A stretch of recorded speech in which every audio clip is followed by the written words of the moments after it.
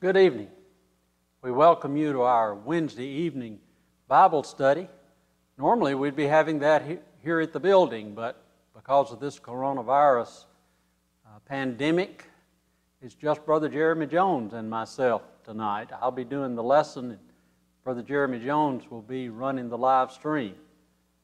I hope you've been uh, enjoying our study of Malachi. Uh, our intent is to finish that book tonight. Uh, we wish that you would join us on Sunday morning for our worship service, which will be live streamed at 10:30. Uh, Brother Aaron Foster is scheduled to preach this coming Sunday. We are, as I indicated before, studying Malachi chapter 3 and chapter 4. And this will conclude our study of this book. We've seen in the study of Malachi, first chapter 1 and chapter 2, that God is really upset with the children of Israel. Uh, last week in our study of chapter 2, we saw that the priests were sinful in their own behavior and were partial or incomplete in the way they were teaching God's law. As we begin chapters 3 and 4, we're going to go into a transition. There will be prophecies. First, a prophecy about the coming of John the Baptist, and then a prophecy about the coming of the Messiah, our Lord and Savior Jesus Christ. There's a difference in the way the Word of God refers to the children of Israel. In Malachi chapter 3 and verse 9, they're called the whole nation, rather than a more endearing term like people of God. Now, they're told that they can repent, but in reality, they're about to face 400 years of darkness before the coming of Jesus Christ. Let's begin by looking at Malachi 3 and verse 1. Behold, I send my messenger, and he will prepare the way before me, and the Lord whom you seek will suddenly come to his temple, even the messenger of the covenant in whom you delight. And behold, he is coming, says the Lord of hosts. You know, Malachi 3 and verse 1 contains a prophecy about the coming of John the Baptist to prepare the way of the Lord. And it also promises the actual coming of the Lord Himself. Back in Malachi 2 and verse 7, they had asked, Where is the God of justice? Here in Malachi 3 and verse 1, they are told that the Lord Himself is going to be coming to the earth. Now, as we move on to verses 2 and 3, but who can endure the day of His coming, and who can stand when He appears? For he is like a refiner's fire, like a launderer's soap. He will sit as a refiner and a purifier of silver. He will purify the sons of Levi and purge them as gold and silver, that they may offer to the Lord an offering in righteousness.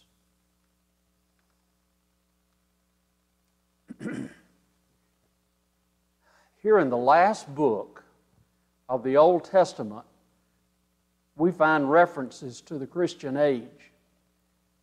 Peter, in his writings in 1 Peter, the first chapter, and also in 1 Peter, the second chapter, had words that tell you that he was familiar with this prophecy in Malachi 3. In, in 1 Peter 1 and verse 7, he talked about them being tested by fire, or Christians being tested by fire. And in chapter 2 and verse 5, when he said, You also, as living stones, are being built up a spiritual house, a holy priesthood, to offer spiritual sacrifices acceptable to God through Jesus Christ. The Israelite sacrifices had been unacceptable, but now the sacrifices of Christians are going to be acceptable. I've just got a few thoughts about Malachi 3, verses 1 through 3. You know, when the messenger comes, he'll be like a refiner's fire and like fuller's soap. Now, we know about the refining process. the raw materials are heated up until it melts. And then the impurities separate from the pure metal. The impurities rise to the top and can be skimmed off. The messenger, or Jesus Christ, will be the refiner who separates the good from the bad. He can also purify, but Jesus Christ can also purge. When you think about the fuller's soap, it's also a metaphor that indicate, indicates that Christ will cleanse and purify. Fuller's soap uh, was used to whiten cloth, and thus it indicates that our soul will be washed whiter than snow. You'll remember back in the 51st Psalm, the great repent, repentant Psalm of David, he wanted to be cleansed and be as white as snow. And when Paul or when John wrote Jesus' words to the church in Sardis in Revelation 3 and verse 5, he talked about them that overcome being dressed in white garments. We understand that these verses that uh, Malachi were given to assure the priests and the Levites that God had not gone away.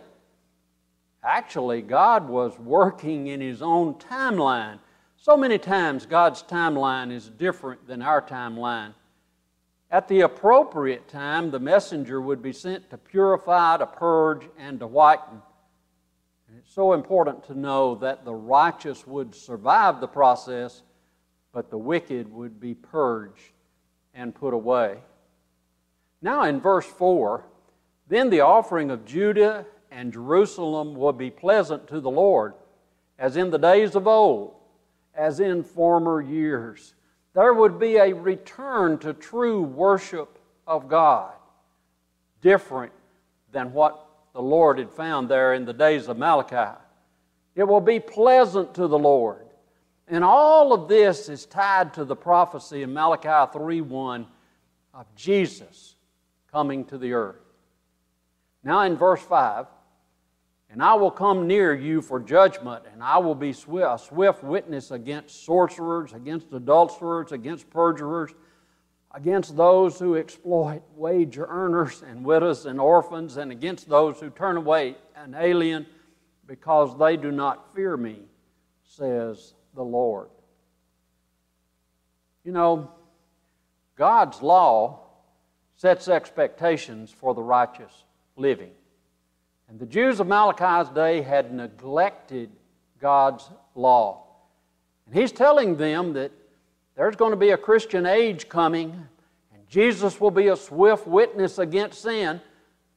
When I read about this, I, am reminded of what Paul wrote to the church in Galatia, where he talked about the works of the flesh in Galatians 5 19 through 21, and he contrasted that with the wonderful fruit of the Spirit in verses 22 and 23 of the same chapter.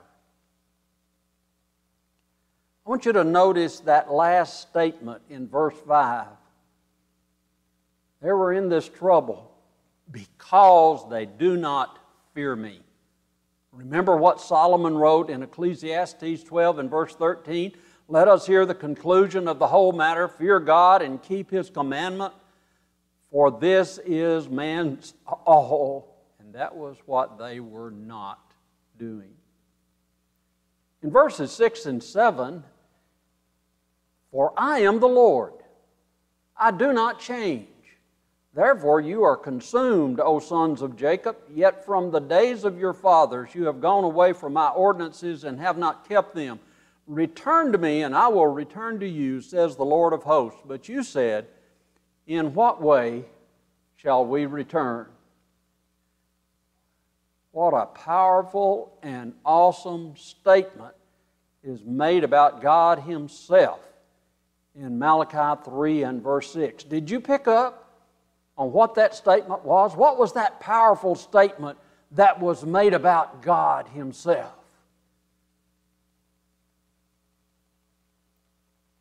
God does not change. I think it's important for us to notice the context in which this is shared. You know, God had made promises to Abraham, to Isaac, and then to Jacob to bless all the nations of the world through their seed. The Jews had disobeyed, disobeyed God and, and they deserved condemnation, but because of his promise, he would wait. God would wait 400 more years until Jesus would come to this earth to begin his ministry. And also, we can see there that, that God is a God of forgiveness because also contained in verse 6, God says to return to me and I will return to you. Sinners always seem to need more information. And the Jews in Malachi's day ask, In what way shall we return? Well, in verse 3, he gives them an answer. Will a man rob God? Yet you have robbed me. But you say, In what way have, you rob, have we robbed you in tithes and offerings? I know Brother V.P. Black wrote a whole book on Will a Man Rob God? He was pointing out to us in that book, and God was pointing out to them that He notices giving. He notices giving then, and He also notices our giving today. Let's look at verses 3 through 9, or 9 through 12, excuse me. You are cursed with a curse, for you have robbed me, even the whole nation. Bring all the tithes into the storehouse, that there may be food in my house, and try me now in this, says the Lord of hosts. If I will not open up for you the windows of heaven and pour out for you such blessings that there will not be room enough to receive it. And I will rebuke the devourer for your sakes so that he will not destroy the fruit of, our, of your ground, nor shall the vine fail to bear fruit for you in the field, says the Lord of hosts. And all the nations will call you blessed, for you will be a delightful land, says the Lord. How does Malachi chapter 3 teach us about the providence of God? You just think about what we've just read the things that they're experiencing and the things that they could experience, in, experience are all in God's control. So, how does chapter 3 teach us about the providence of God? I'd suggest to you that God is telling them that He is behind their lack of material blessings because they've been robbing Him. You'll remember when we studied back earlier in Malachi, they were bringing the blind, the sick, the lame, not their best sacrifices.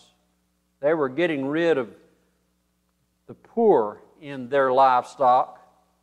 And God is also telling them that repentance followed by a change in behavior will open a floodgate of blessings from Him.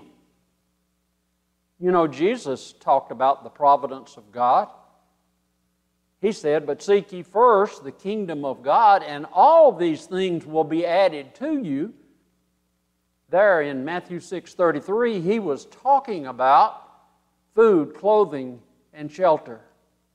God is in control of this world, and He's letting these people in Malachi know that He could open up the floodgates of heaven with blessings if they would just turn to Him. You know, it makes us think. Things can change so quickly. We see how this COVID 19 pandemic is destroying much of the world's economy. Don't you think it should be a wake up call for us to be serious about our obedience to God? There, in, beginning in verse 13, your words have been harsh against me, says the Lord, yet you say, What have we spoken against you? You have said, It is useless to serve God. What profit is it that we have kept your ordinances? and that we have walked as mourners before the Lord of hosts. So now we call the proud blessed, for those who do not who do wickedness are raised up, they even tempt God and go free. Another class question.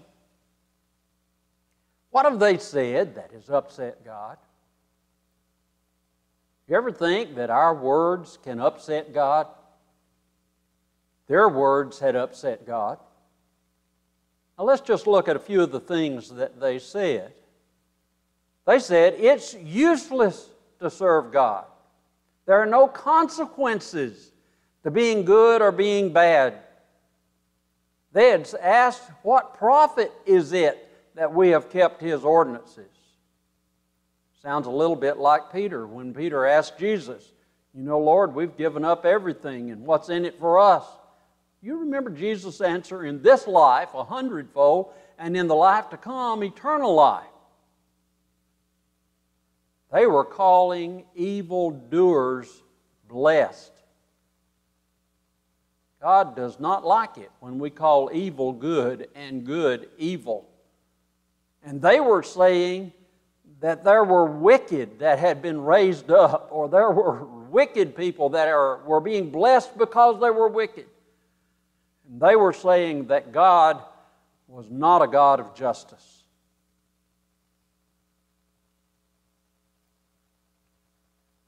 Verses 16 through 18 Then those who feared the Lord spoke to one another, and the Lord listened and heard.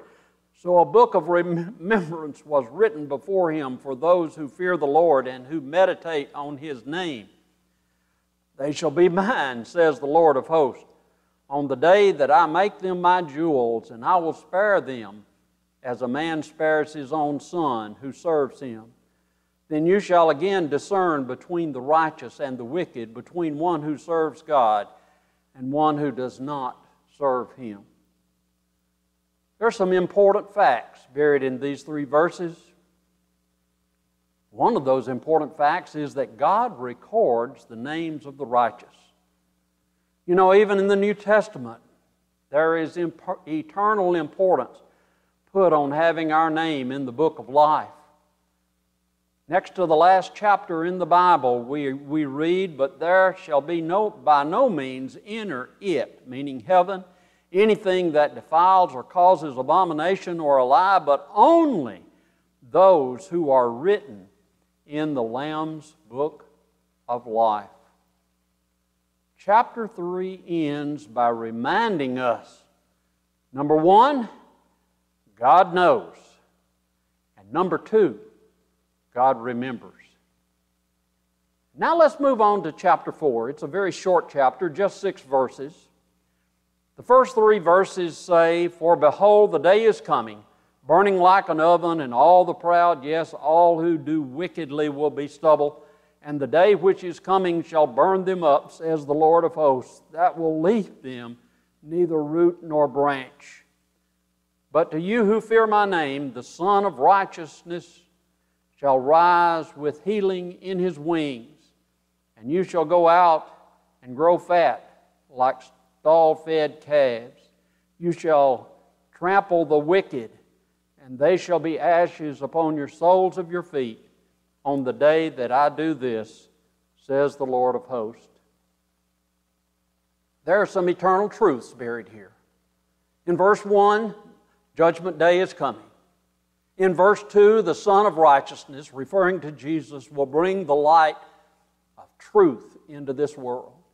And in verse 3, the righteous will be able to overcome the wickedness of this world. I am reminded of Revelation 21 in verse 7, which says, He who overcomes shall inherit all things, and I will be his God, and he shall be my son.